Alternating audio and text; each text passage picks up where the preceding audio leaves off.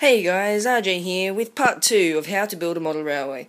And in this video, I will be painting the shed that we made in the last video. So what we'll need is the burnt umber, some black, and a cup with water in it.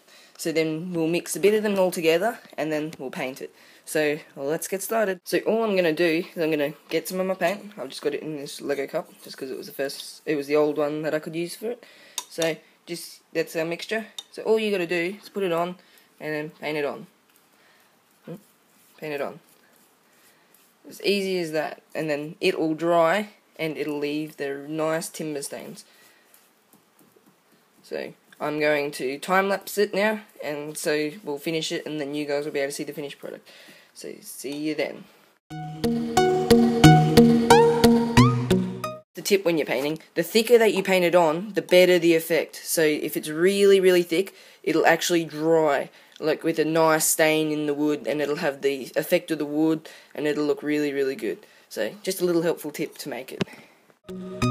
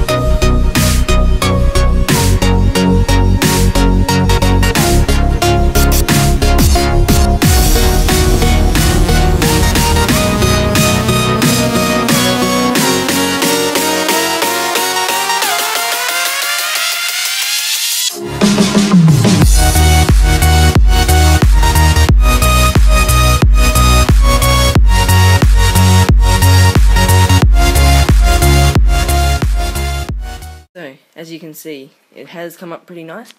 The weather, it's weathered itself, like because we've put it on really thick. It's dried and made this look really good.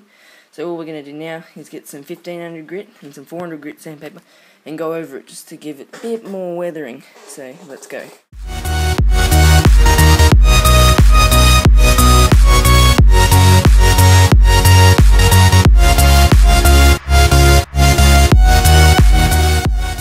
So there we go. This building is all weathered up and painted up really nicely now. So as you can see, the sandpaper has left a bit lighter patches and darker patches in it.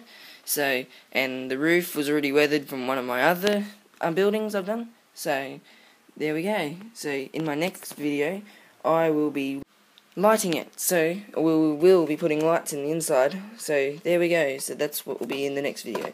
So make sure to like it and subscribe if you haven't already. And thanks for watching. Bye.